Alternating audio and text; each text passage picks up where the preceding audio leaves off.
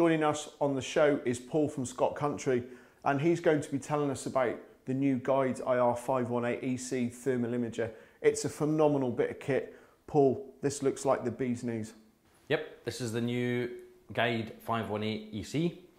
Um, it's an improvement over the old 518C model. Um, it's got various different improvements, including uh, a higher resolution, now 640 by 480, um, a detection range of up to 1200 metres at night, which is a phenomenal distance, and it'll pick up small animals such as um, rabbits, um, badgers, foxes at that distance, not just larger animals also. 1200 metres at night time or, or in the day or in any conditions. You know, we've discussed before uh, how foliage uh, and grass gets in the way how does this stand out against, say, other thermal images that just have a black and a white heat signature, for example? It's not just the black and white heat signature. Um, this does have a nine display mode where you can actually have different colours of detection. It does look a bit James Bond-esque, however, um, it does have a, a, big difference in terms of what you're looking at. Um, switching to red hot modes, for example, you can see red hot sources and track red hot sources, the hottest source on the on the scene. Um, you also have a 50 hertz refresh rate. Most thermal images have a 9 hertz refresh rate, which gets a bit laggy if you're particularly if you're panning across a fast moving animal. Um, some other thermal images have 30 hertz refresh, but this is a 50 hertz thermal imager. And that's an important thing to remember because with thermal images, there's, there's nothing worse than getting this distortion. If you're watching, for example, a roe deer or a red deer making its way across a field and it suddenly bolts, with the lower hertz models, you are going to get that distortion. So in some ways, this model eliminates that, doesn't it? And it just makes the viewing experience that much more sharper.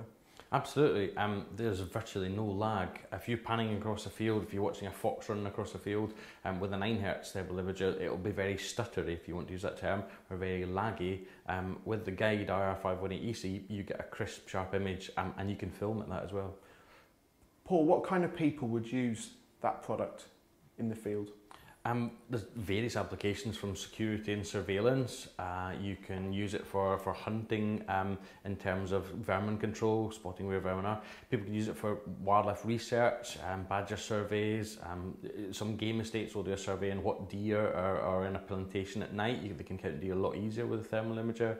Um, very, lots of different applications. And that's an important thing to remember, folks, with thermal imagers because it's not just security and surveillance uh, from a, a human or a building's environment point of view. To watch wildlife and, and track them, for example, if you're going to watch badgers at night foraging and, and taking things into their den, I suppose you can go out in any condition. Um, none of the weather conditions affect this, this unit, do they? Nope, thermal images aren't impeded by things like grass, foliage, rain, snow or fog or mist. Um, you can scan a field with a traditional night vision device such as the Archer and not see anything. Um, you can turn on the thermal imager as we, as we did when we were testing the kit in the field and you can see three badgers in dense scrub that we didn't even know were there. They were 30 metres in front of us, we, we didn't even know they were there. Fantastic, and, and I guess as well, some people will say you don't need all the features on it but actually you do. Is that right? Because it, again, it's personal preference, but to be able to pick certain targets out, you need the features, don't you? You need the different features. I'm actually a bit of a convert. Um, my favourite thermal imager was the Pulsar HD 38 Quantum. Um, you had black hot or white hot. I did think the different colour display modes were, um, yeah, they were a nice feature to have, but you didn't really need to know which part of the animal was hottest.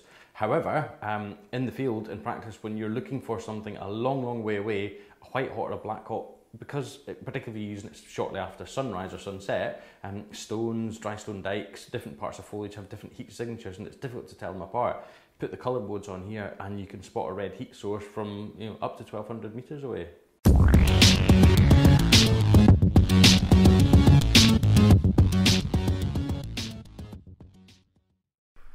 We're joined on the Night Vision show by journalist Mike Powell. Mike, you've been using the Guide IR 518 EC for the last few weeks. Um, give me your opinion on this handheld thermal imager.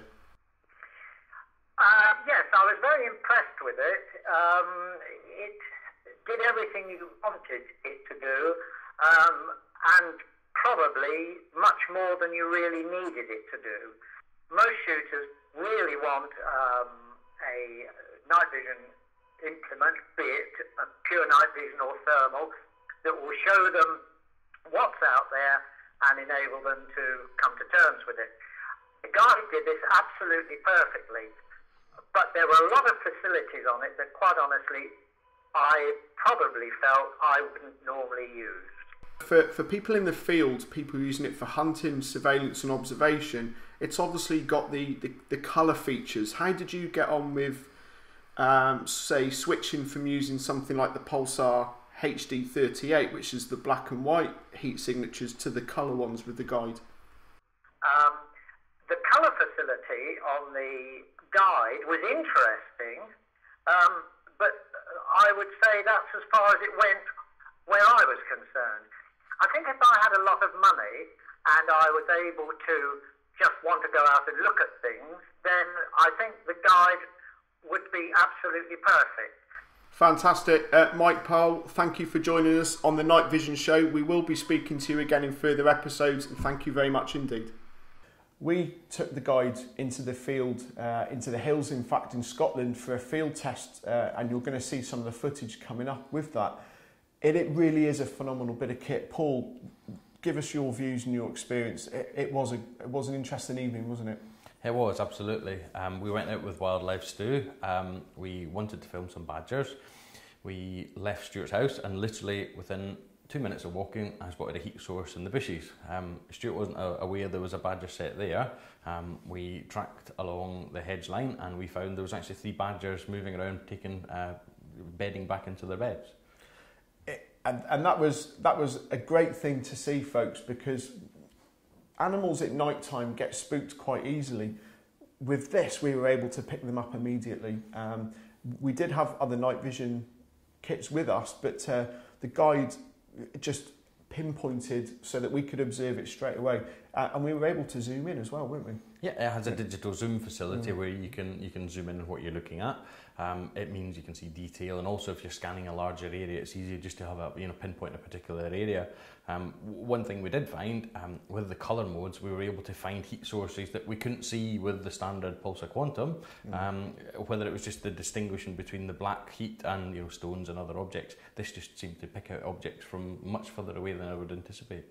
And we were also able to see into the trees, weren't we? Into the bushes, and we could I mean, we, we saw the badgers go up a bank of trees. Now, you wouldn't see that with normal night vision. That was that was pretty special, wasn't yeah, it? Well, we, we had the Archer with us, um, with the, the Archer laser that it comes with, and um, even seeing the badgers 40 metres away in the in the short grass and, and scrub with the Archer, it was hard to pick out. You really needed the thermal to identify. Hence mm. why it's so popular, particularly with hunters, to have a thermal imager to spot wildlife, and then you have your traditional night vision um, to view it, or uh, indeed using a, a, a. And that's an important point, folks. We were also able to see the badgers moving up through the trees, weren't we? Other night vision devices can't see that. No, we had the Starlight Archer with us. Um, we were just using that with a new attachment, which we'll cover later. But um, the thermal, you could see heat sources moving about in the gorse and the scrub, whereas with Archer, we, we would never have known it was there. A lot of people use thermal imagers for that purpose, use them for detection and, and, and spotting an actual heat sources mm. there, and then using the traditional night vision device. And, and, and one thing to remember, when, when you're talking about thermal images and night vision, you hear people talk about Gen 3 Plus, uh, Super Duper, all these different things. We compared the guide against a Gen 3 Plus image intensifier with the Starlight Archer, and, and the Starlight Archer could not pick up the badges. And, and that was a good field test for us, wasn't it? Because it just shows that with this technology, you get better results in, in those specific conditions. Well, intrinsically, thermal imaging and, and traditional night vision are very different. Um, a thermal imager is he- seeing a heat source, an infrared heat source. Mm. So whether you're looking at a badger, a fox, a, a roof of a house, a vehicle, you'll see a heat signature coming from it. Whereas with night vision, there's no heat signature. You're just seeing infrared to view at night. So the human eye is much more um, susceptible to seeing heat sources. Um, at further distances with this, you wouldn't see with a, night, a normal night vision device at all. And uh, an interesting and exciting part of the evening was when we picked up a, rather large object, uh, some distance away, I might add. Yep, yep um, we're still a little bit puzzled. We're hoping um, local wildlife ranger Keith Kirk will scrutinise the footage for us. We um, picked something up probably about 400 metres away. Stuart was using it at the time and it actually jumped a dry stone wall and then started moving by field. It was larger than a badger.